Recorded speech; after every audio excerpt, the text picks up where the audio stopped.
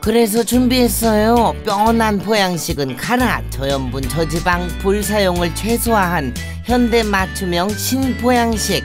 지금부터 소개할게요. 건강하게 들어와. 아니 보양식을 찾아 산 넘고 물 건너도 모자를 파네 시방 마트에서 뭐 하는겨? 뭐 신보양식에는 자격이 있다고? 쉬어야 한다. 맞아 여름 보양식 재료비 너무 비쌌어 그런 건 있어요.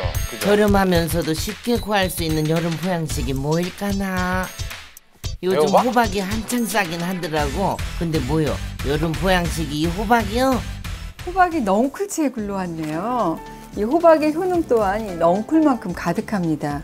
특히 이 호박에는 비타민이라든지 필수 아미노산 같은 우리 몸에 좋은 영양소가 가득 차 있기 때문에 사실 천연 보약으로도 불리우죠.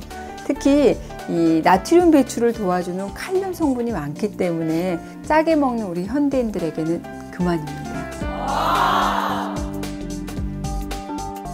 넝굴채 굴러온 호박 맛있게 만드는 법을 제가 가르쳐 드리겠습니다.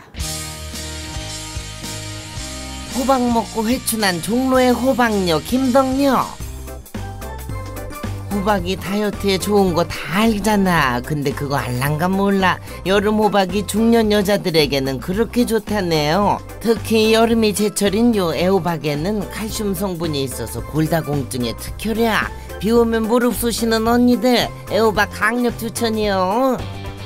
천연 보양식 호박 더 건강하게 먹는 법을 본격적으로 소개하려고 하는데 닭도 보이고 어째 이거 비주얼이 너무 익숙한 거 아니요? 호박 언니 사람 그렇게 안 봤는데 또 삼계탕 만드는 거요? 바로 해신탕이라고 그래요. 해신탕이요? 그래서 용왕님이 드셨다고 하는 그러한 음식이에요. 정말 귀한 음식이거든요. 난 또 오해했잖아 호박 언니도 이것 먹고 회춘했다 호박 해신탕은 닭 육수에 각종 한약재를 넣어주고 문어, 오징어, 전복 등 각종 해산물을 아낌없이 넣고 팔 팔 끓여주면 엄마 벌써부터 기운이 팍팍 넘치는 것 같지 않요? 근데 이게 끝이 아니래요 단호박이에요.